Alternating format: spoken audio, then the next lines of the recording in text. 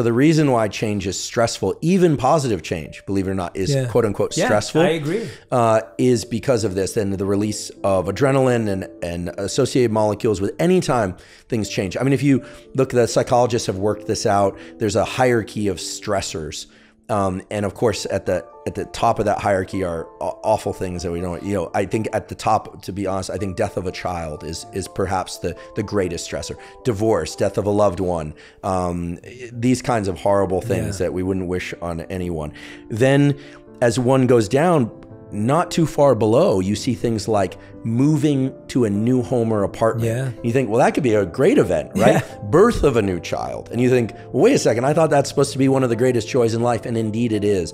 But it's stressful to the nervous system because so many things have to be con- reconfigured, mm. to say, not to say anything about the lack of sleep with a Yeah. newborn and this kind of thing.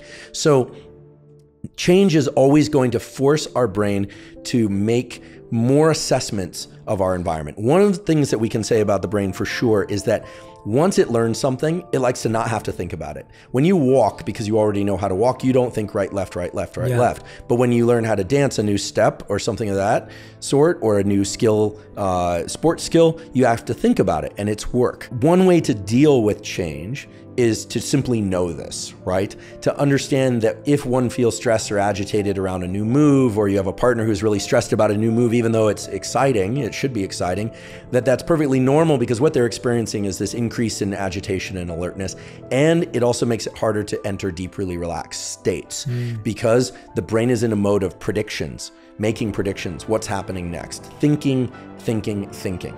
And one of the things that's key to falling asleep each night and replenishing our ability to think and make predictions is the ability to turn off thinking. In order to move through change, designate 20 to 30 minutes each day to put the brain into a state of non thinking, non doing, and into a state of quote unquote being and feeling. So, not making predictions. Now, the tricky thing is when one is stressed, that's especially hard to do. Yeah. And this is why I think what was it Thich Nhat Hanh said, you know, what is that who said, you know, um, when stressed, you know, I meditate every day, but when stressed, meditate twice as long or so- something like yes, that, yes, right? Yeah. When I Um, when I don't think I have time, like that is Right. almost when I Exactly. need to make the time. Yeah. It's a skill. And Yeah. so this ability to turn off thinking enhances one's ability to enter sleep, which is vital for mental and physical health, obviously, learning, etc., for reasons we discussed.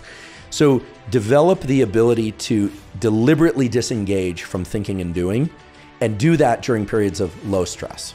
Right? 20 to 30 minutes a day, even 10 minutes a day of just learning, teaching oneself and practicing the art of turning off prediction is an incredibly valuable skill. And then the other one is to just understand that we're being bombarded with contextual change all the time.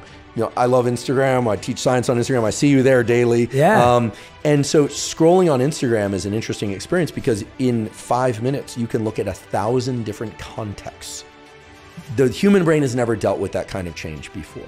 Even when television, when I was growing up, there were three or four good channels. Then it went to cable, and then now you get onto an airplane or something, you got 240 channels. Yeah. That's that's a drop in the bucket compared to what we can get in in a social media feed. Yeah. So I think we just need to be aware that the brain can work with that, but then what you're turning on is an ability to walk into a new context and and figure out the statistics. Imagine if if in an Instagram feed and I'm not demonizing Instagram. I think they're wonderful. I think they provide a wonderful resource, truly.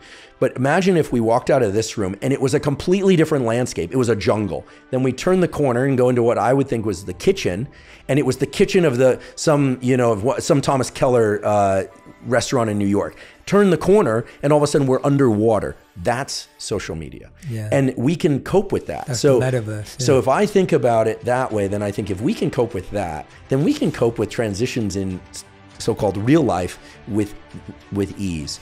Now, some people have more situational awareness than others. They walk into an environment and they're sensing all the things.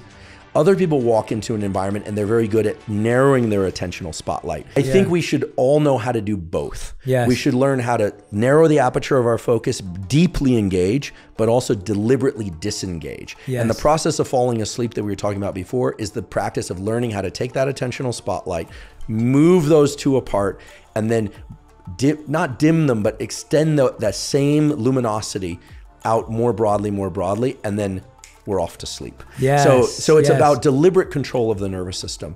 And unfortunately, we all know how to focus on something if we're very stressed or excited by it. Most people don't learn how to turn off this focus and learn how to deliberately disengage. And one of my great hopes for humanity is that children and adults will learn how to deliberately disengage. Yeah. Because it benefits sleep, which benefits mental and physical health.